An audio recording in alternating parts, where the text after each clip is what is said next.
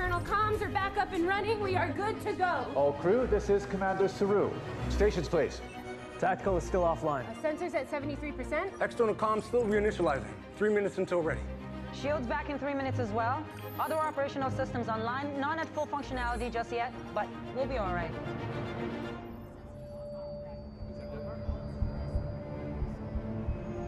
Lieutenant Detmer, status report.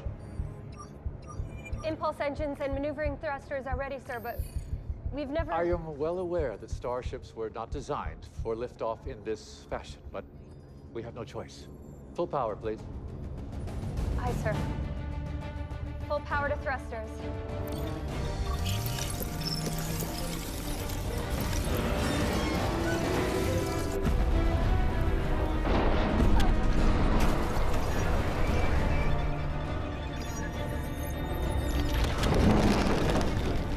Hold us steady, Lieutenant.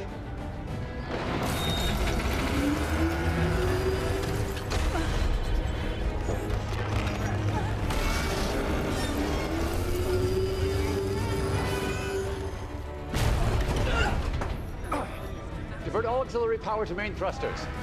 Diverting power now, sir. Uh, sensors are showing hull strain in the lower decks. System temperatures are exceeding nominal levels, Commander. Commander, something is coming toward us. Something big. Enemy vessel, right on top of us.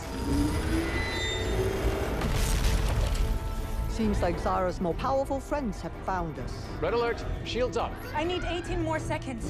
Lieutenant Detmer, get us out of here. I'm trying, sir.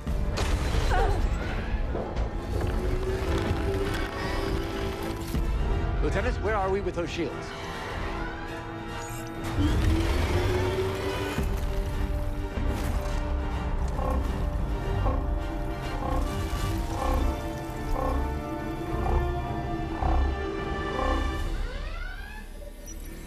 Tractor beam. They grabbed hold of our ship.